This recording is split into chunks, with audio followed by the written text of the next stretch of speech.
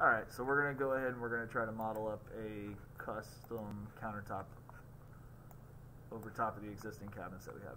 So inside Revit, you have uh, some countertops that you could probably use. So like underneath casework, you have um, a file folder that should have like all the base cabinets that you use to build the kitchen up. You got shelving, tall cabinets, wall cabinets, but there's also a file folder for countertops.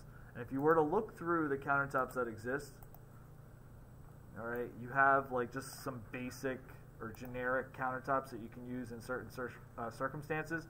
So like here you have one where it's really just like a straight line kitchen, and then they give you a spot for a sink to go into. Here they did, you know, it's really the same countertop with a sink already in it. Here's the same countertop without a sinkhole. They give you one for an island with a sinkhole in it. They give you one for an island without a sinkhole in it. L shape with a backsplash and a 45. Uh, same thing with a sinkhole. Same thing without a 45. Same thing with a sink put into it. Uh, here's like an L shape with no sinkhole. And then these ones are really handy, like just for bathrooms. So if you were going to use like a vanity uh, cabinet and you were going to put like a, a, elliptical sink, all right, or a round sink, you could just kind of use one of those. So there's some pre-made ones that are in there, but none of these match up with the same exact form uh, that we really need, like for our countertop in the kitchen.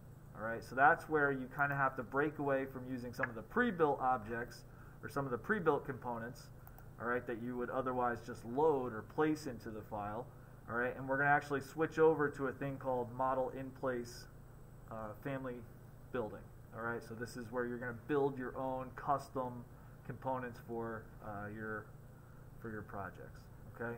So what we're going to do is I'm just going to go ahead and we'll like delete that one countertop that's in place. This probably looks a lot closer to what you folks have um, available up and open on your screen.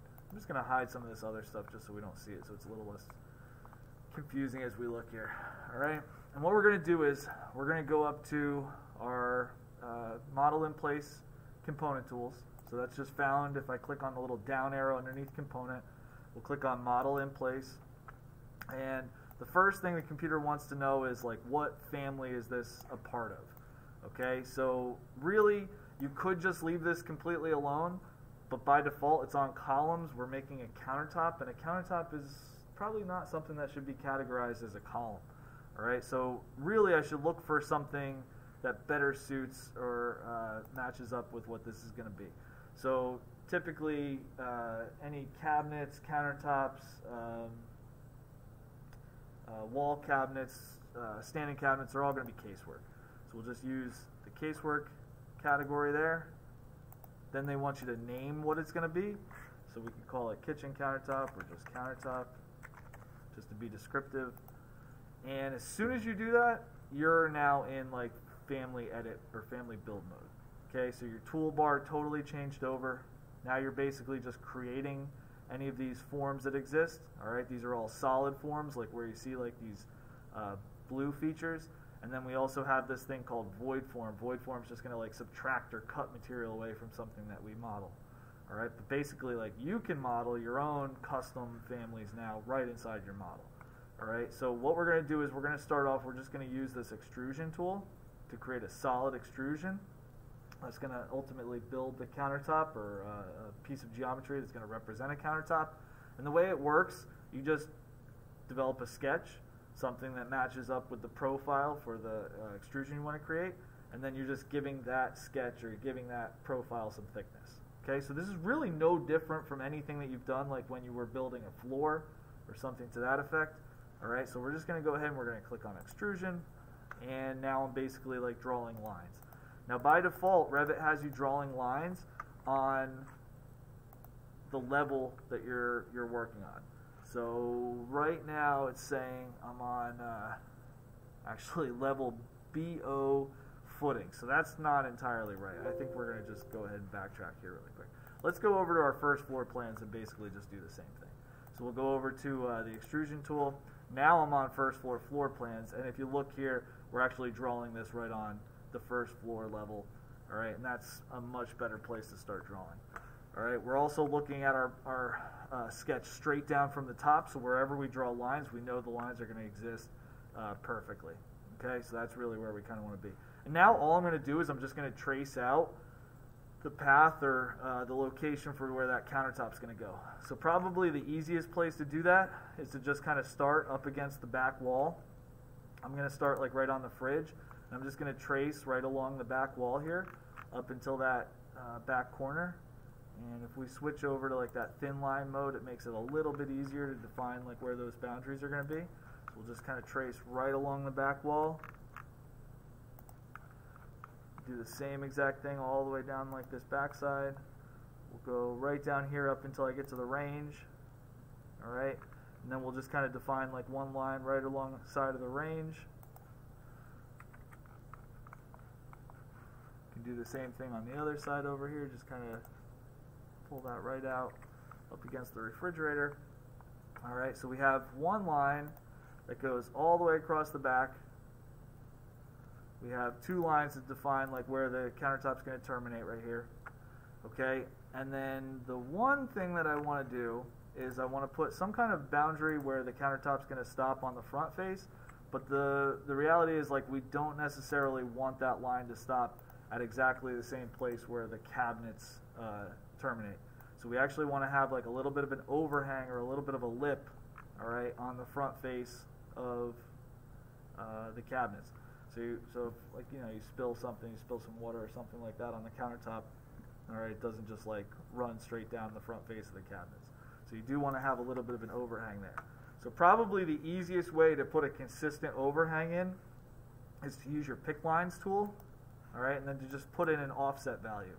So if we were going to have like a, uh, an offset value for you know the lip on the countertop of maybe an inch, you can just key in the value of one inch all right? And then basically you can just kind of go right around and you can pick the front face or the front edge of your countertops. Now I'm having trouble picking like that 45, so maybe we'll just kind of skip that.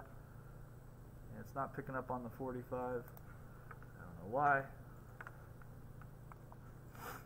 Um, I'm also having trouble fitting this dishwasher in there, so we're going to go back and we'll fix the dishwasher. Alright, but for right now, let's see, we'll put that inch overhang in one more time.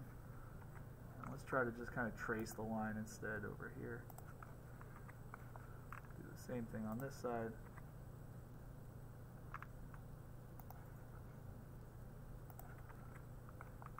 Alright, and then all I'm going to do is I'm going to clean up my sketch. So if I use my trim tool, we can just go ahead and we can make sure that there's a 90 degree angle between like all these lines that are supposed to be perpendicular to each other. We can also put an angle or put a corner between these lines that aren't touching yet. All right, so all I'm doing is I'm picking two sides of the lines that I want to keep. So I want to keep this side and I want to keep that side, so it's going to turn that into a perfect uh, corner. Over here, again, like we don't want to pick these back sides. That's just going to kind of you know make a little bit of a mess there. So we want to keep this, pick the size of the lines we want to keep with the trim tool. All right, we'll do that over here. I want to keep this side and I want to keep this side. All right, and if you look at that, that is the sketch that you're going to need to define your countertop. All right. So we're just kind of drawing out where that thing's going to go uh, in plan view. All right. Making sure that these corners meet up. There can't be any holes. There can't be any intersects. They have to come to they have to come to a perfect corner. Okay? The last thing that I want to do is give myself like a little bit of a sinkhole or an opening here. That's actually kind of easy. You can just stick with a rectangle.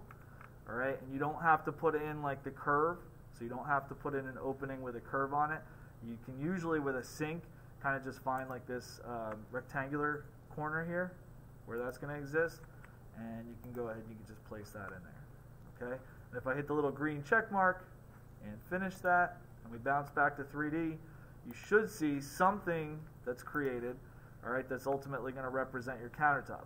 Really, the only problem is the extrusion, all right, or the countertop itself starts at 0 feet 0 inches on that first floor level, and it extrudes one foot. So right now, it's like on the floor, it's one foot thick, and it's going up through all of your cabinets. So it's just kind of like located uh, on the z-axis, kind of in the wrong place. So what I'm going to do is I'm just going to go to this like true front view here. All right, and I'm going to take the little blue grip on the top of the countertop. I'm just going to pull that all the way up. We're going to go right underneath the sink. And then I'm going to go back and I'm going to grab that blue grip on the bottom. I'm going to pull that up. We're going to sit that right on top of your cabinets. And if you look at things in 3D at that point, it looks a lot better now. All right, like once you get that countertop up off the ground. And you can still come back after the fact and you can move like some grips around if things aren't in the right spot. You could also pick the extrusion and you can always go back in and edit it. So if it's not in the place where you exactly wanted it, you can always go back and change things. Like one little one little tweak might be just to make the sinkhole just a little bit bigger. All right, just so that uh, it's like under the flange of the sink, but at the same time it's a little bit bigger than the sinkhole, just so that you don't get like two surfaces in Revit that are intersecting or existing in the same place. That just kind of cleans it up and makes it look a little bit better. All right. And then one other thing you can do, your countertop is going to be made out of like really just like this gray generic material. It's not made out of anything. So if you want to change the material, now would be a great time to do it. You can pick your countertop over in the properties tools. You should have a material. You can go in here and you can change the material over to just about anything you want. All right, so if I was going to do like a concrete countertop or um, uh, granite, all right, something like that, you can load one of those materials into your project and you can use one of those for your countertop material. All right, and then when you're 100% done with the model, you're going to click the little green check mark to finish it. So that's maybe one thing that's just a little bit confusing about countertops is they are in this in-place family mode. All right, so if you were going to edit it or you were going to change it in some capacity, now that you're kind of like done and you're finished with everything, you have to pick the countertop, hit edit in-place family mode, then pick the countertop again, and now you can like edit the extrusion, you can change it, you can modify it, you can change the material, when you're finished with it, um, you got to kind of hit the green check mark two times. All right, so hit two times to get out of there. Um, if, lastly, we wanted to add like maybe a backsplash or something here, all right, once again, like you can just pick the countertop, hit edit in place family mode. We can actually make like a secondary extrusion or another extrusion that could act as a backsplash. So if I were to hit my extrusion tool button, go back to that first floor, uh, floor plan view. Do the same thing here, just kind of to add a backsplash. So I'll just kind of trace along the back wall. Go right along here. And this time, let's say we put in like maybe a three quarter inch backsplash. So we'll go 0.75. Try that one more time.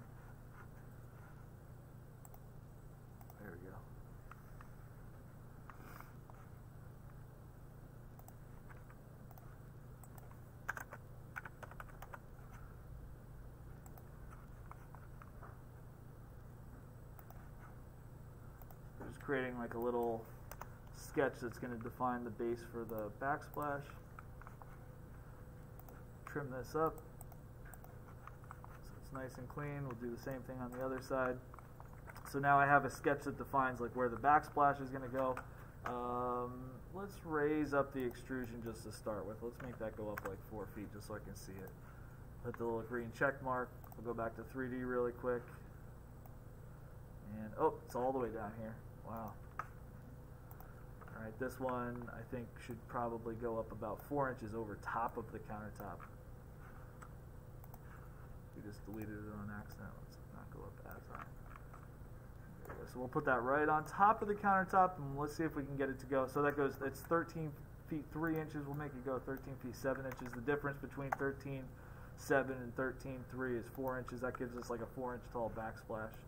So that's like, you know, pretty adequate or appropriately sized backsplash.